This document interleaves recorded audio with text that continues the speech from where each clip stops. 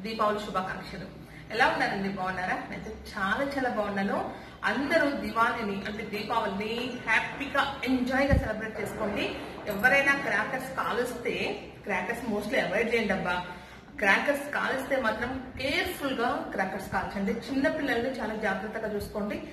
అలాగే అది చిన్నప్పుడు చెప్పేవాళ్ళు అనమాట నాన్న వాళ్ళు దీపావళి ఇప్పుడు పటాసులు కలుస్తుంటే అమ్మ అది వెలిగేటప్పుడు అది ఆరిపోయినట్టు ఉంటుంది మళ్ళీ పోగానే డామ్ అని వెళ్తుంది అని చెప్పేసి చెప్పేవాళ్ళు.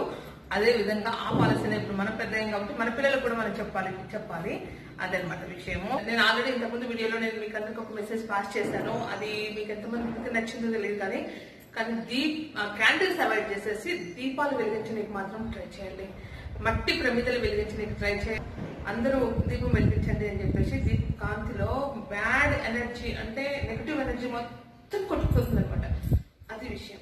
అందుకోసమే అందరూ ప్రతి ఒక్కరు మట్టి ప్రమిదల్లో నూనె పోసేసి ఒత్తులు వేసేసి దీపాలు వెలిగించండి.